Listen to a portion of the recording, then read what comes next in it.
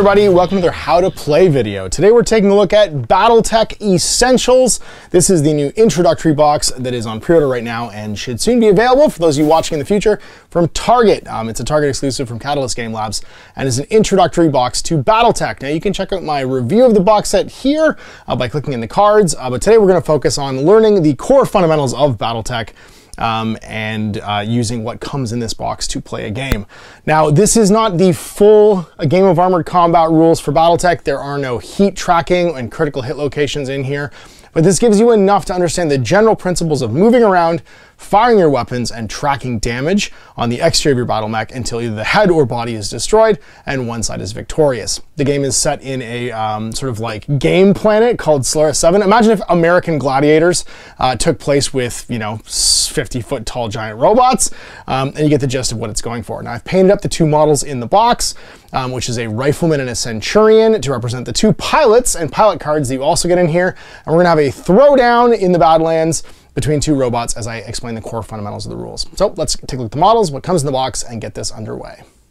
So here we have the Battletech Essentials box set all pieced out uh, and ready to play. I've also painted up and display next to them the standees for the two models that come in the box. Now they come pre-assembled, um, so you do not have to paint them if you don't want to, but I thought it'd be fun too.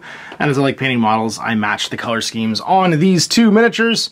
Um, so over here we have the um, Rifleman 3N and the Centurion uh, C9A, I think it is, class of battle mech.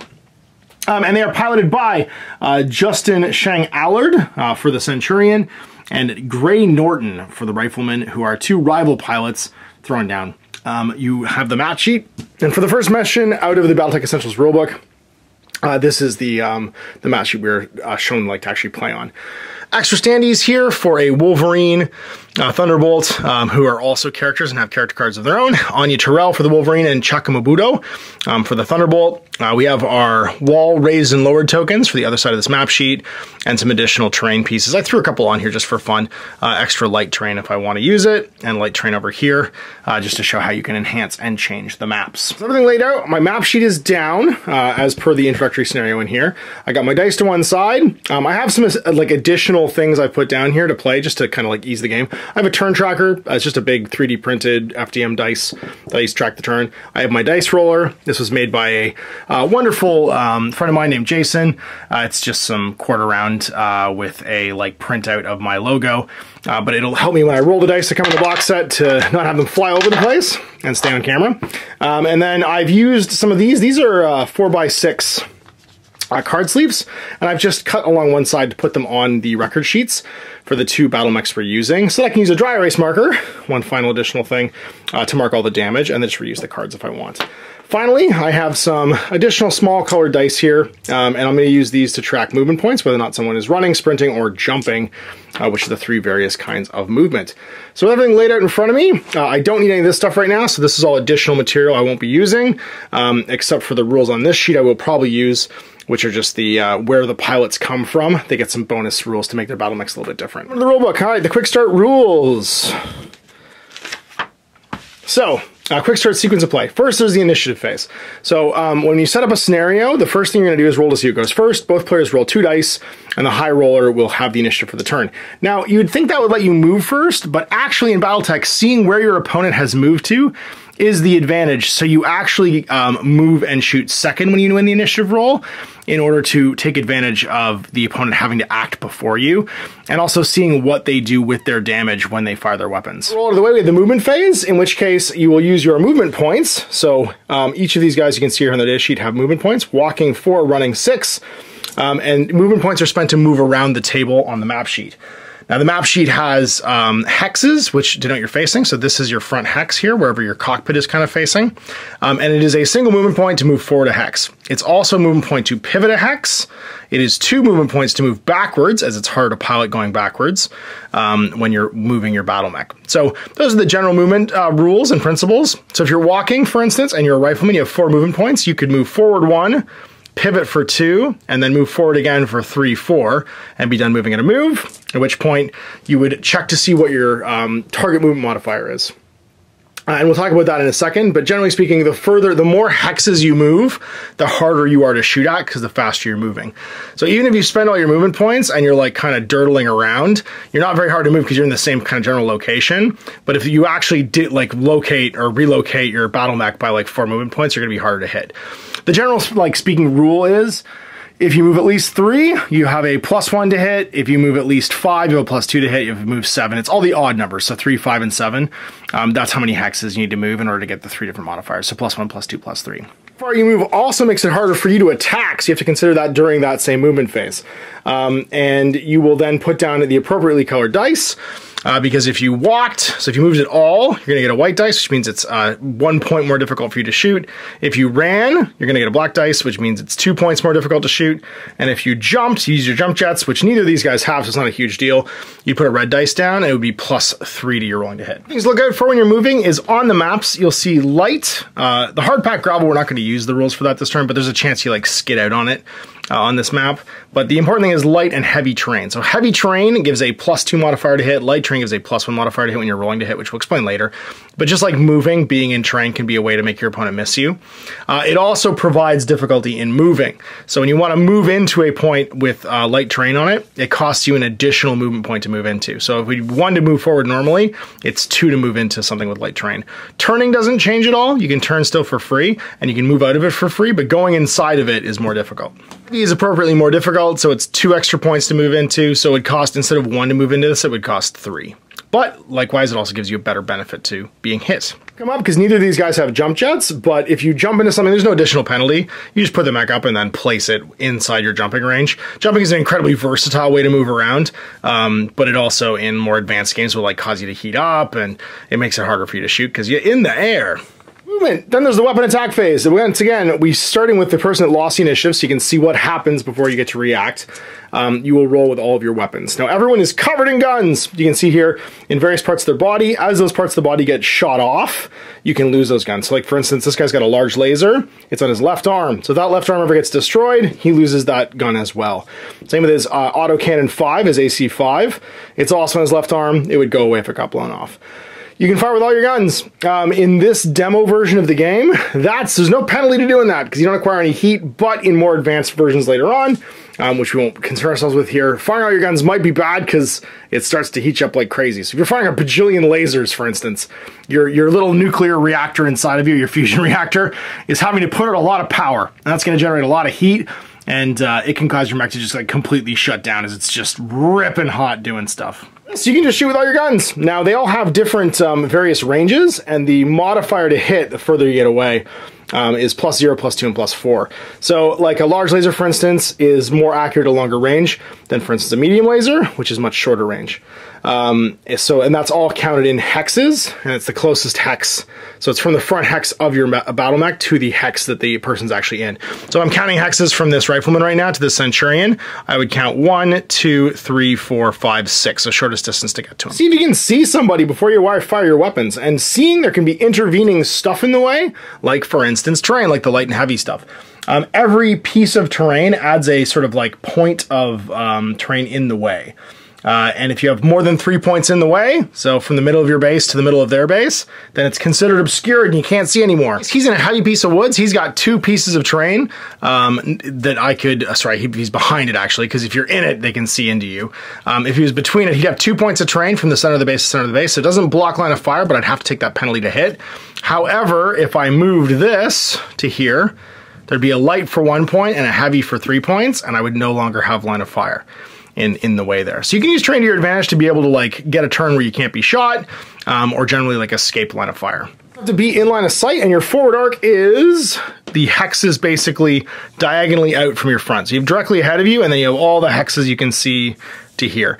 Now, and again, in advanced games, you can do what's called torso twisting. I usually denote it by putting a dice down. So your front facing uh, doesn't say the same, but you, you pivot your waist so you can shoot stuff, and you can twist your torso to the left or right, and it changes your arc appropriately. But in this game, we're just going to worry with the, the basic forward facing. Pick your target, and in this game, it's just going to be two battle mechs, so we have to worry about, you know, there being too much on the board here. Uh, we're going to roll to hit. Um, and you roll to hit by calculating Gator. So first, it's your gunnery skill. Um, and for both these guys, their gunnery skill is going to be set. So this card here, you can see his gunnery skill is one, and his piloting skill is two. Newton has a gunnery skill of one and a piloting skill of one, so they're very skilled pilots, because you have to roll a one or higher on two dice added together. That's pretty easy. So gunnery skill is the first step of Gator. So yeah, one or higher, that's uh, that's an automatic hit. But there's other modifiers. So first, the target movement modifier. Uh, sorry, first is the uh, attacker movement modifier. Um, so did you move or not? So let's say this guy moved and he moved three hexes. So he has a one uh, and he is walking. So the white dice goes next to him. So that means his piloting skill of one goes to two because he's plus one to hit from having moved a walk. Then you go to the Teen Gator, which is the target movement modifier. So walk three, the Centurion is going to have a target movement modifier of one. Was pilot skill plus your um, your attacker modifier plus your target modifier is three. So now I need to roll a three or better, which means I could miss. You have terrain modifiers, so it's going to be what kind of um, terrain is he behind? In this case, heavy woods are intervening. So that's another plus two. So three is going to go to a five. Now I have to roll a five to hit. There's range, so how far away am I? And that's going to change every single time I fire a gun because my guns have various ranges. So for instance, my AC five, we already counted that I'm one, two, three, four, five, six, seven away. Uh, my AC five, actually I was six away before, wasn't I? We'll go into there. My AC five was, um, I actually wouldn't be able to see, was, uh, outside of six, so it would be in, or sorry, my large laser is outside of five, so it would be in medium range. So I'd be plus, I'd be hitting on sevens, whereas the AC5 has a six range, which means I'd be hitting at plus zero, which is a five. So different guns are gonna have different range modifiers. That's why it's good to calculate the Gator part first and then worry about the final range modifier afterwards, because that's the part that's gonna change with different weapons hit. So I'm gonna roll to hit with, let's say, I'll start off with that large laser. So it is in medium range, so it needs a seven to hit. So I roll the two dice, add them together, and Gray lands a hit. So then we have to see where it lands on the armor. Mainly the armor diagram here has my 2d6 roll. So 2 to 7 is the center torso, right? 3, 4 is the right arm. Uh, 5 is the right leg. 6 is the right torso. 7 is going to be the center torso. Uh, 8 is going to be left torso, 9 is the left leg, 10, 11 is left arm, and um, 12 is the head. So let's see where we land. So 4, so the 4 result is the right arm, or the right, yeah, the right arm. Uh, so get my dry erase marker, and how much damage, well, it's this guy's arm. How much damage is a large laser? It's 8 damage points, so I mark off 8 damage points. 1, 2, 3, 4, 5, 6, 7, 8 and that's now filled in. on the list, firing all my weapons uh, until I have either missed with all of them, hit with all of them, uh, and I've completed my attacks. And then my opponent would start doing the same thing back. Now, any damage I've done isn't counted until the end of the turn. So anything I blow off or extra damage I do, weapons I disable or destroy, it won't be applied until the turn ends. There are some weapons like missile launchers, uh, like an LRM here that he has, that will uh, require a cluster table, uh, which is how many hits, how many missiles actually hit after you hit. Um, and what you do is you take the number of missiles. So for a long range missile launcher with 10 missiles, you do one point of damage per missile, and you roll to see how many of them actually land. So with 10 missiles on a roll of seven, you would get six missiles landing. And you group that damage. You try and break it into groups of five, so it'd be a five point damage to the eight. So on this guy, eight is gonna be the left torso. You take five points of damage. And that last one point would go to the 12, which is the head. So you goes, you can see it splashes this whole general area. The fact that it's not one projectile, it's like a cloud of missiles going across and landing on him. If there's too much damage on a location, the remaining damage follows the arrows and gets transferred in further, basically. So you never lose damage if something gets blown off. It'll go towards the center of the battle mech. Introductory box, a mech is destroyed when its head or center torso is destroyed. So the center torso obviously is its engine, the head is the pilot. Either one of those things will just kill you. And so for the purpose of how to play, we're not going to use all of the advanced piloting rules. We're going to save that for the Let's Play afterwards. Um, but we will run through the first scenario, the training scenario, which uses this map sheet. You can see we've already laid out. Uh, we roll off. The defender is going to be the um, the House Davion battle mech, which is over here, which is Justin Allard, and he gets deployed first off within two hexes of the uh, first, or sorry, the south edge actually, which is over here.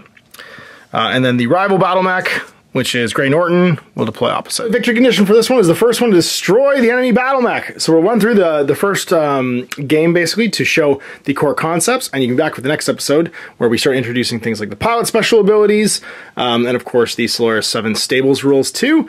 uh, to give us a little bit more variation. One initiative, and what I'm going to do is I'm going to put the uh, turn dice next to the battle mech that has initiative when we win. Uh, so rolling for the Centurion, he'll get a six, and the Rifleman get a five. So that means that Justin takes the lead. The Rifleman needs to move first. So uh, with Gray having lost the initiative, uh, the discretion's a better part of valor. He's going to run. Uh, he's going to go one movement hex forward. A run is uh, six hexes for him. And he's going to go two, three, four, five, and then pivot one more time for six. Started here, that means he's moved one, two, three, four hexes, giving him a movement modifier of one and a run dice because he ran. Justin, deciding that he could take the lead, will just move one, two, three, four hexes forward, and happy to stay out of the effective range of those rifleman's weapons.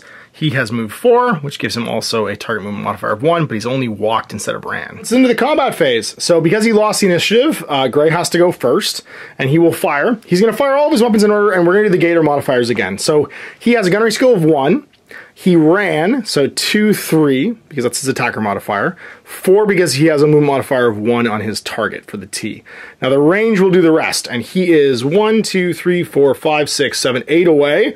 So we look at his weapon sheet. That means everything except for the medium lasers is going to be in medium range. Four plus two is six. That means he needs a six or better to hit with all of these guns. So we'll do the large lasers first. There are two of them doing eight points of damage. So the first one hits with a six. And where does it land? It lands in the four. So that'll be eight damage to the right arm. So one, two, three, four. It was eight. The second one on a six, it also hits. And where does it land? In the six this time around.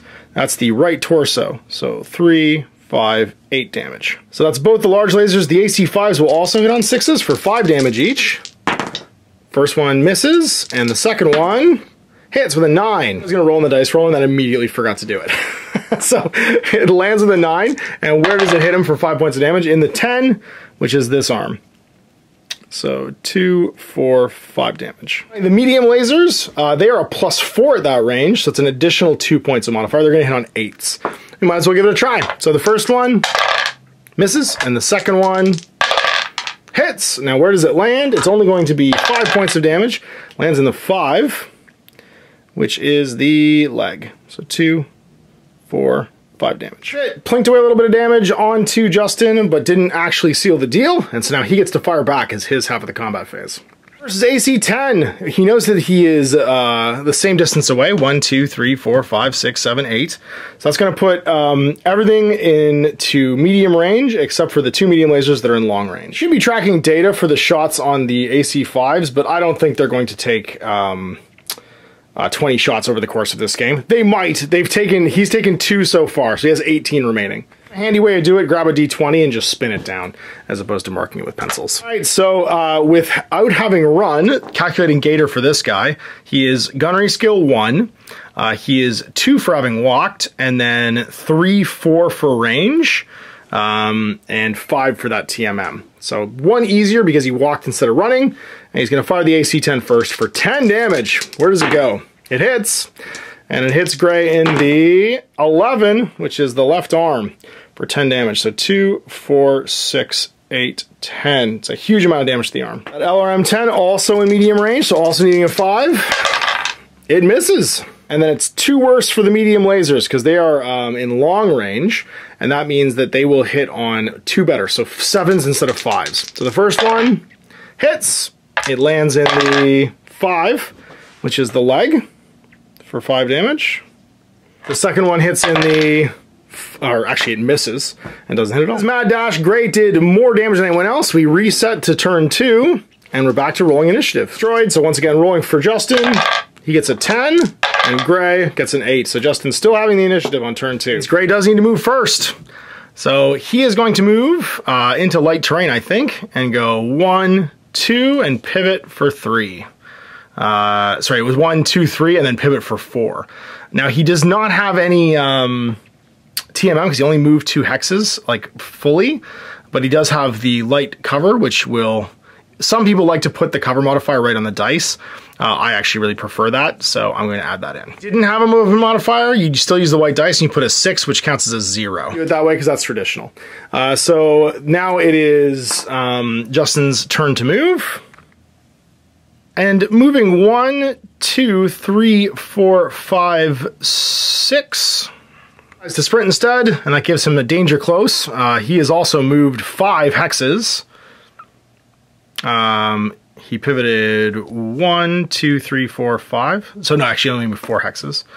So that's going to give him a team of one and a sprint. More importantly, it took him out of Gray's front arc. And because we're not using the torso twist here um, in this uh, demo game, this means that he cannot be shot right now. Having to shoot first, he has no targets because all of his guns uh, cannot shoot uh, outside of arc advanced game, he'd be able to twist his torso to look at him. Um, you could also even flip your guns to shoot backwards as long as your arm guns, but your torso guns would have to shoot in different directions. So where your guns are mounted in uh, the more advanced, like complete rules, uh, can matter a whole bunch. But in this case, because we're just using some core concepts, uh, Justin's gotten out of the way now. He's free to just fire as um, Gray just skips his turn. Start with the AC-10.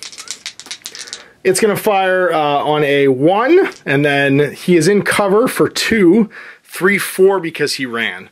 And that's to be it. Inside that short range. 10 damage. Oh, and he lands it. Where does it land? Oh, no, the head! And that's it! With boxcars, 10 damage to the head. One, two, three, four, five, six. He just decapitates just or uh, Gray, um, and the rifleman falls to the ground, exploded that's it. That will complete our how to play. Um, having uh, probably been able to weather some more fire too without having been destroyed, unless that lucky headshot came through. That is a a instant sort of pilot death. Um, and actually 10 points of damage to the head would kill, I think even the advanced game would probably kill him. I don't think the pilot has that much health uh, in its critical systems. So there you go. A uh, quick look at how to play Battletech. And of course, this scenario concluded with one of the two pilots being destroyed. And in this case, uh, Gray, Norton, Gray Norton is taken down uh, by Justin Allard in his uh, rifleman. As, uh, yeah, that AC-10 just blew his, blew his cockpit apart and took the head out. Beyond the quick start game, if you've got your copy of Battletech Essentials or you pre-order it in the future and it's your first introductory to Battletech, um, some useful things would be, of course, the Game of Armored Combat box. What I like about that box is it comes with two complete lances of battle mechs copy right here, and I've already painted up all my battle mechs, but you're gonna get all unique mechs to what you have already. A, um, and, and, actually you're gonna get models for the two mechs that are standees in here too, if you want to paint them up for using the Solaris 7 rules. Uh, so you're gonna get a rule book for Game of Armored Combat, uh, with some more advanced combat stuff in here, and even rules for designing your own battle mechs. You get another novella, uh, you get Alpha Strike cards, and you get a Catapult, a Thunderbolt, a Wolverine, a Locust, uh, Shadowhawk, a Commando, a Battlemaster, and an awesome. You get all the same cool stuff as well as um, the more advanced Battletech-like marker sheets too, which include all the internal principles, and this will allow you to play the full core combat game. Two more maps, dice, and everything else. So this is probably the best next step um, after the Essentials box if you've just discovered Battletech through this. From there, you can play for a long time. That's a lot of battle mechs. Having 10 battle mechs, uh, especially when you're playing Battletech Classic, is a is a, a lot of mechs. That's a that's a lot of like different maps to play on. You're gonna get more 2D terrain as well, punch out terrain, um, and you can you can play a long time uh, just using what what comes in those two boxes. If you want to grab the technical readouts, you get the um, more advanced weapon sheets for these guys as well. The ability to play for a good long time. Uh, if you decide you want to play larger games, on top of that, there's then the free uh, Alpha Strike Quick Start rules, and you're gonna have the Alpha Strike cards in this box for playing the mass combat version of the game, which allows you to play with like like whole companies. Not that you can't play with whole companies in classic BattleTech. Uh, it just would take you like an entire weekend. So it's nice to be able to play uh, sort of like more than one large mass combat game at a time, and Alpha Strike provides that. So there we go. A look at BattleTech Essentials, this uh, this new sort of like um, arena combat style game. There are additional missions to play through, um, and of course the story of like these sort of like a gladiator style reality TV stars and their battle mechs uh, to explore and expand upon as well with Solaris 7. And we'll get to that in the Let's Play. So you go, how to play Battletech using the Essentials box um, and the battle mechs provided, and walking through the core concepts of the game. Now, of course, the next episode of this is a Let's Play where we're going to play in the Solaris 7 arena uh, and have sort of like a show, like a, it's like a, a full-on, uh, what was the game? Most Extreme Elimination Challenge, uh, where there's going to be moving walls and people blowing each other up. I'm shocked from the picture of like the Solaris 7 stadium that like the entire crowd isn't just killed by like rogue missiles and autocannon shots. Like there needs to be something going on there where they don't all just die. Um, but I thought that'd be a fun one to do a separate video because it's the next mission. It's the other side of the map sheet, and you can see some of the fun, wacky rules for the pilots themselves, and of course the stables that they come from, uh, as they do like a full-on like like uh, aggression era uh, WWF sort of like mech showdown. So thanks for watching. I hope you enjoyed that how to play video. And if you have grabbed Battletech through the Essentials box, if that was useful for you, next time, Ash. Hey there, I hope you enjoyed that video. There are tons of other games already recorded for you to watch. Click over to my channel page if you haven't already, and have a look to the dozens of playlists full of videos. I guarantee you'll discover a game you haven't seen played before. I put out new videos seven days a week, and every day is themed to a different genre as I continue to explore the wider world of gaming. Of course, none of that's possible without you, the viewer, so click a like and subscribe if you'd like to stay on top of what's happening here daily. My two kids and I are massively grateful to be able to have the flexibility of this job so I can always maximize my time with them. If you want to support me continue to put out this content, it's only possible because of my amazing backers on Patreon who support the studio, equipment, and model cost, as well as being how I make the bulk of my living. You can also help out by buying a t-shirt through Spreadshirt, a measuring gauge or widget from Death Ray Designs, or buying one of my games and supplements like Last Days, Gamma Wolves, and Blaster. As a way of showing my appreciation, patrons get early access to new games and supplements that I write throughout the course of the year. Huge thanks for watching, it really does help out, and happy gaming.